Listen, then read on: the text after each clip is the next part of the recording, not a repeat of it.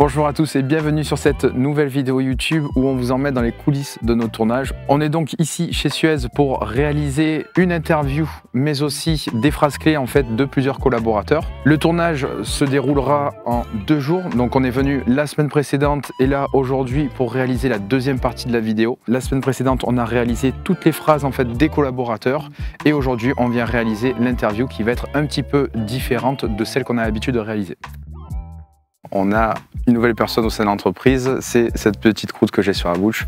Ne vous inquiétez pas, rien n'est contagieux. On reste sur la salle qu'on avait déjà euh, vue? Allez, top.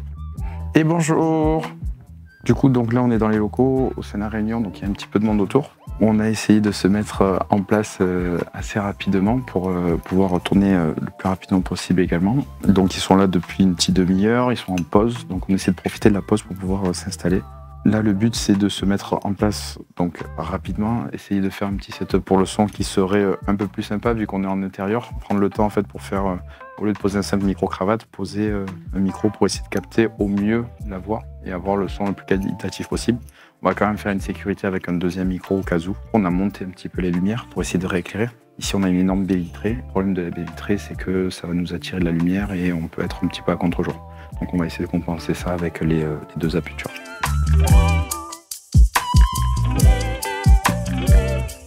Celle-ci sera directement sur la personne qui sera interviewée, donc pour euh, pouvoir euh, avoir une bonne lumière diffuse sur lui, celle-ci va venir flasher au plafond en fait pour avoir diffusé la lumière en fait sur l'entièreté de la salle. Là, on va filmer principalement au monopode. Mon objectif, principalement, on va utiliser le 50 mm. Je pense qu'on va peut-être aussi utiliser le 24-70. C'est pas encore sûr, je vais voir un petit peu en fait selon les plans qu'on va avoir. Donc ça c'est ce que je vous disais, ça va être quand même à sécurité au cas où. Euh, des fois il peut y avoir des soucis de micro. Par sécurité, j'aime toujours doubler mon son.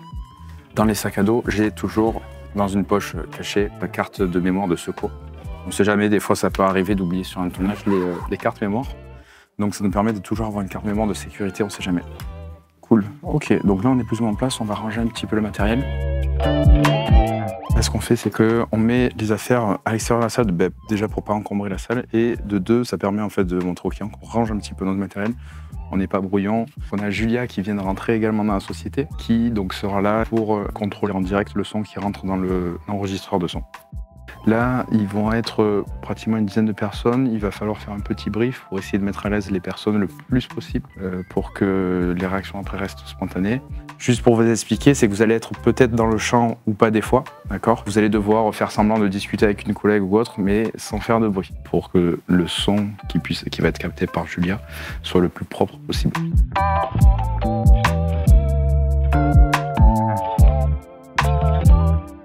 Non, parce que je fais, c'est que j'utilise le monsieur qui a juste devant en fait, pour faire une petite profondeur de champ un peu, un peu plus sympa. Et avoir ma netteté en fait, donc, sur Yael qui va commencer l'interview. Attention, 3, 2, 1.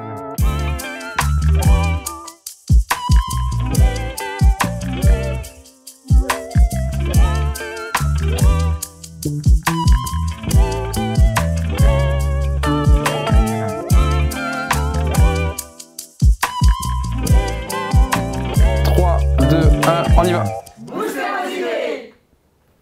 Parfait, merci à tous et tu te fais de tournage. Pour le cadrage à la fin, on a préféré utiliser le 24-70 parce que d'un coup l'idée est venue. Donc c'est pour ça que c'est toujours bien d'avoir un petit peu plus de matériel avec soi et ne pas venir seulement avec ce qu'on a besoin. L'idée finale était du coup de faire ben, un petit mot une petite phrase de conclusion euh, tous ensemble. Donc on a pu euh, rapidement changer avec le 24-70, se mettre au grand angle. On l'a doublé, on l'a fait une fois au niveau du panneau, une fois au niveau euh, de la table. Donc on verra ce qu'on mettra à la fin, ce qu'on peut faire. Là, du coup, ce qu'on a fait avec Julia, c'est ce qui était hyper important, c'était de bien regarder en fait et de contrôler. Elle, de temps en temps, elle me demandait, elle me checkait si on ne voyait vraiment pas la perche selon le cadrage. Surtout à la fin où on a dû monter la perche vachement haut parce qu'on avait besoin d'un plan plus large, donc ça veut dire qu'on avait plus d'images à l'écran. On a fait des tests à chaque fois. Comme c'est un groupe de personnes, il arrive que euh, le micro sature un petit peu. Il vaut mieux que le, son soit en dessous du niveau habituel que celui euh, que s'il est trop haut. En fait, pour le rattraper en post-production, c'est trop compliqué. On avait une heure pour tourner, on a mis euh, une heure et cinq minutes exactement, avec le temps de mise en place, donc euh, on est dans les temps. Là, ils partent en pause déjeuner, et donc nous, on va se retrouver directement pour la dernière partie de la vidéo, et qui sera donc la première partie euh, pour la vidéo finale.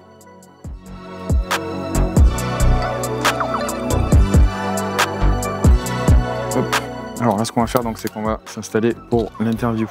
On sort le trépied. Le but est de réaliser une interview, on va dire, euh, embarquée. La difficulté de l'interview embarquée, c'est que tu dois réciter ton texte et le connaître par cœur et marcher en même temps, ce qui n'est vraiment pas un exercice qui est facile, surtout qu'on aura Julia qui va gérer un petit peu la lumière et euh, moi qui serai avec le stabilisateur derrière, en fait, en la suivant, en marchant en marche arrière pour être sûr et certain en fait que euh, l'interview se passe très bien, sachant que la personne n'a qu'une heure de son temps. On va sécuriser tout d'abord l'interview, donc on va installer un petit setup ici, et ensuite euh, on ira tourner euh, le plan en fait en faisant rapidement un petit essai de parcours qu'on a déjà plus ou moins déterminé à l'avance.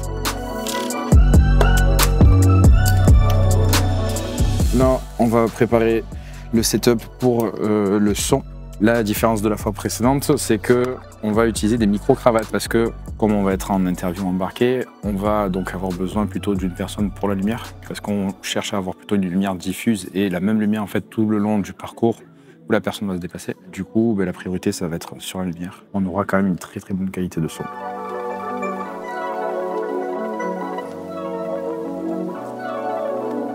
Allez, là du coup on va réaliser donc les réglages pour la caméra. On va réaliser d'abord le cadrage qu'on souhaite. plus ou moins.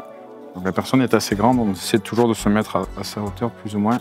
Un truc très important, on vérifie en fait l'axe de notre caméra. Donc l'important c'est que, par exemple là, nous ne sommes pas bien droit à l'horizontale. Donc une fois que je suis, je valide, je verrouille toutes mes positions. On va essayer donc d'avoir une ambiance un peu sympa, donc d'avoir un petit peu les canapés, d'avoir le calquemono et euh, le, palmier, on va voir si on peut essayer d'entrer ça derrière. Ensuite, pour les réglages en ouverture, je me mets à 4,5, donc ça me permet de ne pas avoir une netteté parce que par exemple l'objectif ouvre à 2,8.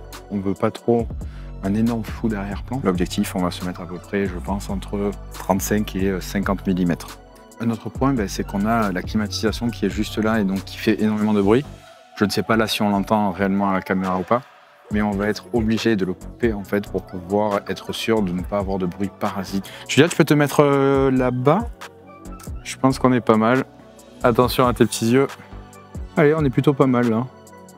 On a deux micros, on a un, blanc et un noir, donc on va du coup utiliser le câble blanc qui se voit le moins, le moins possible. Ouais. Alors tout d'abord, je vais faire des petits tests pour le son. Ouais, on va venir couper euh, juste la climatisation c'est mieux. Parfait. Allez, pour moi, on est bon pour le son. On peut allumer la lumière.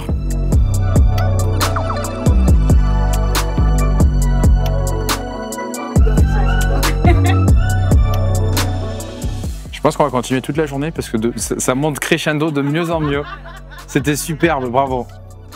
Allez, du coup, on a sécurisé la prise donc qui est en interview en cam fixe. Là, ce qu'on va faire, c'est qu'on va aller s'installer pour pouvoir réaliser donc cette interview. Donc, c'est un seul plan séquence où la personne va devoir se déplacer. On va utiliser ce gilet. Ça va me permettre ben, de me concentrer un petit peu plus sur mon plan, sur mon cadrage, sur ma direction en fait, en marchant en marche arrière, qui n'est pas forcément un exercice assez facile. Et donc avoir une interview la plus fluide possible. Hop.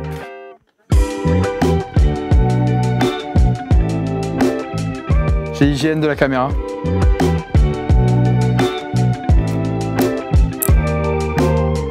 Donc, en objectif, je vais mettre au 35 mm. Pourquoi? Parce que j'ai besoin d'avoir un grand angle et euh, pour avoir une image un peu plus immersive.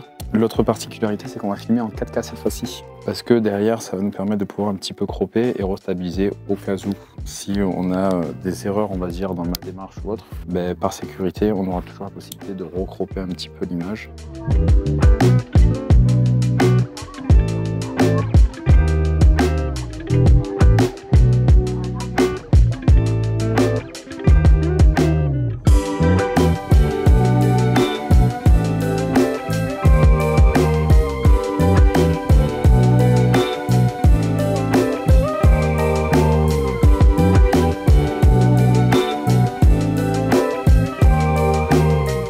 Superbe. Bon, ben merci à tous. Merci beaucoup d'avoir pris le, temps d'avoir joué le jeu jusqu'au bout. On va vous déséquiper du micro. Je te laisse Julien le récupérer. Bonne journée. Alors le plastron, très bien. En fait, ça nous a vraiment permis de nous, concentrer vraiment sur la trajectoire en fait et euh, encaisser un maximum les, vibrations et, euh, et avoir les gestes les plus fluides possibles. Ensuite sur la lumière, donc euh, Julien était obligé de nous suivre tout le long. C'était assez compliqué pour elle de ne pas taper euh, de partout, les portes, etc. Ce qu'on a fait, c'est qu'on a triplé la prise. Pourquoi? Laurence était quand même euh, très à l'aise en fait sur le discours et sur le chemin. Elle arrive à suivre un petit peu les consignes quand on lui demandait d'avancer, de reculer ou de se stopper ou de se replacer. On en a profité au maximum pour pouvoir essayer d'avoir, on va dire, la prise la plus esthétique et la plus fluide possible.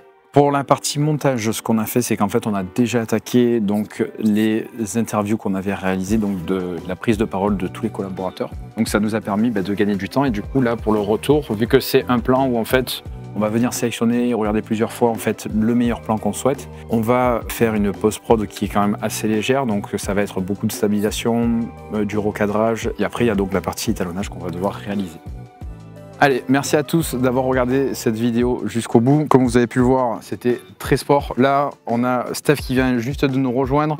On part direct euh, en direction de Lyon. Donc on a deux tournages ce soir, un au Beau-de-Provence, un à Lyon. Malheureusement, on n'aura pas la possibilité de vous faire un, petit vlog. Vous pouvez directement aller voir ben, la vidéo de Suez ou les vidéos qu'on a réalisées donc pour Lyon et pour les Beaux-de-Provence. À bientôt.